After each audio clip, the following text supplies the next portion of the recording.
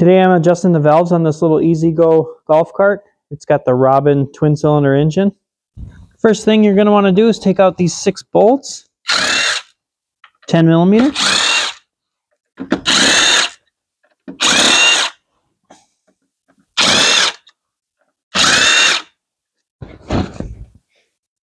Put them somewhere safe. Pop off your valve cover. And this is what we're looking for. According to the service manual, the valve clearance should be 4 thousandths. And it says during engine reassembly ugh, to check it uh, at 4 thousandths. So I'm assuming that's cold.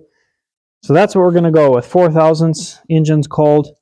You're going to want to turn the clutch the direction the engine spins until one of the lobes is pointing down. Whatever lobe's pointing down could be the first one you check, which is this one.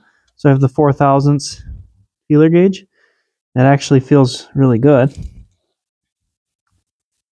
And just to double check, we'll try the 5 thousandths and see if that fits. It does fit, so it's a little loose. So we're going to back off this. These are normally a 10 millimeter with like a flat blade screwdriver you'd put in there to hold it, but for whatever reason, this one's different. It's a 9 millimeter, which is fine. And then these little squares, there are special tools, but you don't need it. All you have to do is after you back off your jam nut, put your 4 thousandths in there, and then you turn that little square piece just slightly, like barely anything. Back off the nut, barely anything, and then tighten the nut back by hand, and you should be able to slide the 4 thousandths in there, and then slowly snug that down.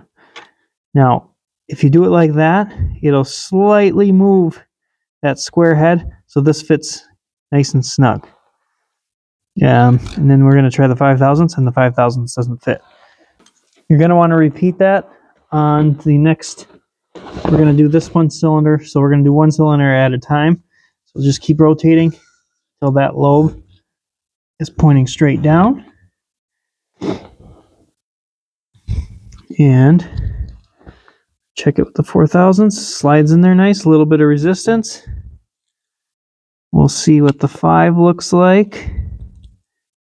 Of course, I lose it. There we go and the 5 doesn't fit. So that one's perfect. So then you're going to want to just keep doing that. Do that on the next two, and you're all set.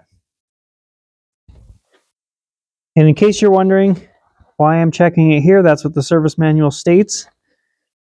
So that's where I'm going to check it. But you can also check it here like you traditionally would. There's just not as much room. And actually, if you get 4 thousandths here, you should get 4 thousandths here. It's usually identical. So yeah, just repeat those steps on the next cylinder. Rotate it by hand a few rotations. Check them all again one more time. Put your valve cover back on. And then uh, you're good to go. I will leave a couple screenshots of the service manual right here.